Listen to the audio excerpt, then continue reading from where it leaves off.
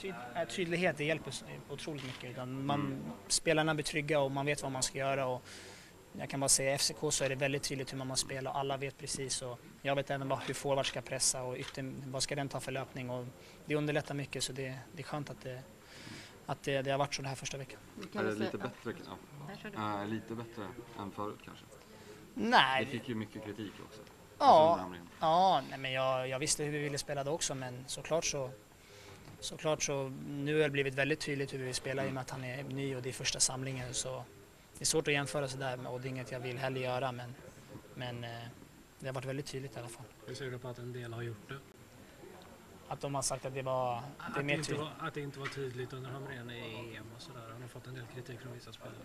Nej men det, det, liksom, det får stå för dem för att de, de tycker inte att det var det och jag, eh, jag är mer, eh, om man, om man ser på min egen roll och liksom så jag, jag spelar, är defensiv spelare så vet jag ju, jag visste vad han ville ha mig defensivt och vad han ville ha offensivt så det, ja, alla känner olika. Hur mycket skulle du säga att Peter som du känner från FCK präglar det här sättet ni vill spela nu i landslaget? Nej, men I och med att jag inte, jag inte känt eh, Janne innan så vet jag inte riktigt. De kanske har lite samma tankar och liksom sådär. Men det är klart man, man vissa saker har han säkert tagit med. Ja, vissa saker har han del, säkert en del att säga till om. Liksom, att han har kommit in med lite idéer och sådär. Men sen är det svårt. Jag tror, de, jag tror de är väldigt överens om hur de vill spela båda två. Och de känner nog ganska likadant.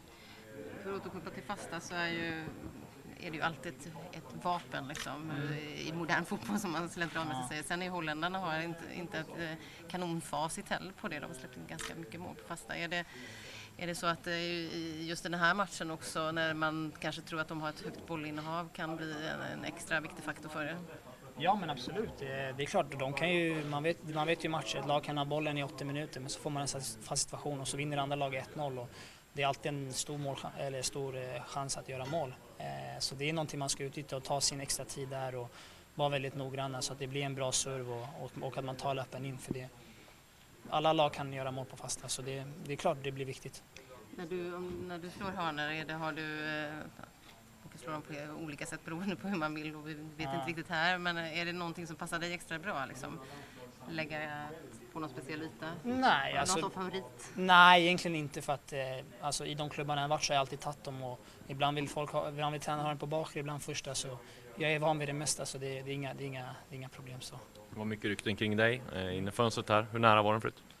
Eh, egentligen inte så nära utan det, det kom många konkreta bud men, eh, men i slutändan så var Ståhle tydlig med att han inte ville sälja och, och att det, det blir nästa sommar eh, senast istället så det var väl ändå inte så nära. Besviken eller?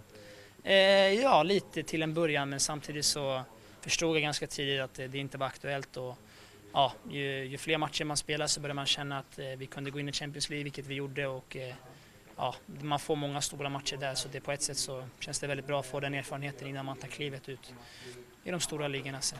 Supersatsning i FCK mot Champions League nu va? Och Kåre och Boysen, ser du på det? Ja, men det, eh, ja, de visar bara att att man vill ta nya kliv och nu truppen blir än, ännu bättre. Och, ja, vi har nästan en startelva med danska landslagsmän och nästan hela truppen är landslagsmän. Så truppen blir bättre och ja, det är bra att ha bredd för det kommer vara mycket matcher i höst. Är Boysen värvad för att ta över efter dig när du lämnar? Ja, det tror jag är tanken. Jag menar, han har inte spelat på ett tag men det är en skicklig spelare som har många matcher i Ajax och danska landslaget. Så vi får se, men när han är frisk så är det en konkurrenssituation så det gäller bara att visa. Men vi tar det då. Hur blir det att gå in och spela Champions League? Nej, det har varit en dröm sen, ända sedan jag var liten och få gå in här senast bara mot Apoel eh, hemma borta inför låten. Det, det var en dröm så det ska bli kul att spela ja, de här stora matcherna som kommer. Ludde, jag vet att ni har pratat om det här med nationalsång och så. Hur eh, ser du på nationalsångsfrågan om man ska sjunga eller ej?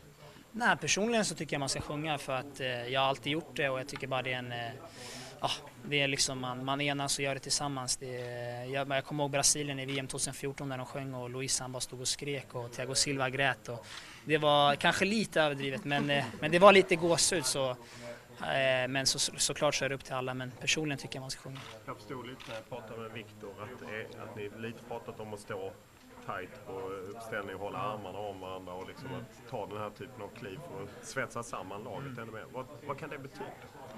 Nej men personligen så känns det bara som att man visar alla också att, att man är enade och att man är otroligt taggad inför matchen. Och, liksom sådär och ja, för mig så blir det bara liksom, det bara bubblar lite i magen, det ska bli, då vet man att det är dags för match och som sagt så får man lite gåshud och man känner den här tändningen så jag tycker att det ger de här extra procenten. Har du förståelse för de spelare som har en annan bakgrund, eh, en invandrarbakgrund, att de inte känner sig lika kanske bekväma med att, att sjunga den svenska nationalsången? Ja, självklart. Det, det, men det är som sagt, det är upp till var och en hur man vill göra och har man inte gjort det tidigare så måste man inte göra det nu heller men såklart så hoppas jag att man gör det för att jag tycker det, det som sagt det visar bara att man står enade och att man gör det tillsammans laget och man ska snart gå ut och vinna en landskamp liksom. Så, så vi får se. Har ni spelare snackat om det efter att Janne tagit upp det med er? Nej, men vi, vi, vi snackade lite om det i grupp bara allmänt vad, generellt vad man tyckte och jag tror många var positiva till att göra det. Så.